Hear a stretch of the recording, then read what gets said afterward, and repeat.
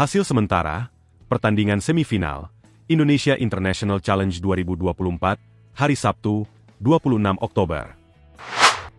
Di semifinal ganda putri, Lani Triamayasari, Siti Fadia Silva Ramadanti, berhasil mengalahkan sesama wakil Indonesia, Siti Sarah Azahra, Agnia Sri Rahayu, dengan skor 21-10, 19-21, dan 21-12.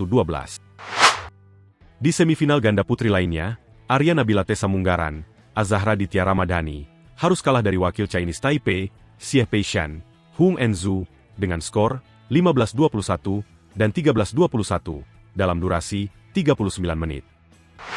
Selanjutnya di babak final ganda putri, Xie Peishan, Hung Enzu, akan melawan Lani Triamayasari, Siti Fadia Silva Ramadanti. Rekor pertemuan, 0-0. Di semifinal tunggal putra, Kota Kahasi berhasil mengalahkan pemain Malaysia, Soleh Aidil, dengan skor 14-21 dan 12-21 dalam durasi 38 menit. Selanjutnya di babak final tunggal putra, Kota Kahasi akan melawan pemenang antara Muhammad Reza Al-Fajri atau Riku Hatano.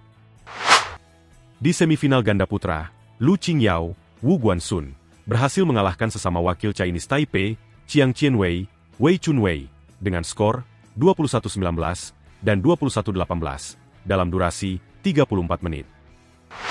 Selanjutnya di babak final ganda putra, Lu Qingyao, Wu Guansun akan melawan pemenang antara Rahmat Hidayat, Yeremia Erik Yoche Yakob Rambitan, atau Zi Weihi, Huang Jui Suan.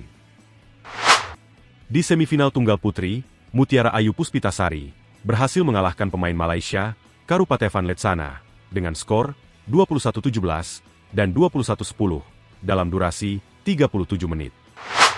Di semifinal tunggal putri lainnya, Yata Wemin Ket Klieng berhasil mengalahkan pemain Malaysia, Wong Ling Ching, dengan skor 13-21, 21-17, dan 21-16 dalam durasi 59 menit. Selanjutnya di babak final tunggal putri, Mutiara Ayu Puspitasari akan melawan Yata Wemin Ket Klieng. Rekor pertemuan, 0-0.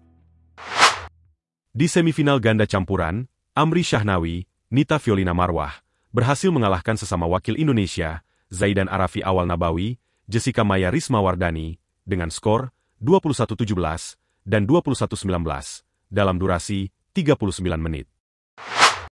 Di semifinal ganda campuran lainnya, Jafar Hidayatullah, Felicia Alberta Nathaniel Pasaribu, berhasil mengalahkan sesama wakil Indonesia, Bobby Setiabudi, melatih Deva Oktavianti, dengan skor 21-15, 19-21, dan 21-13, dalam durasi 48 menit.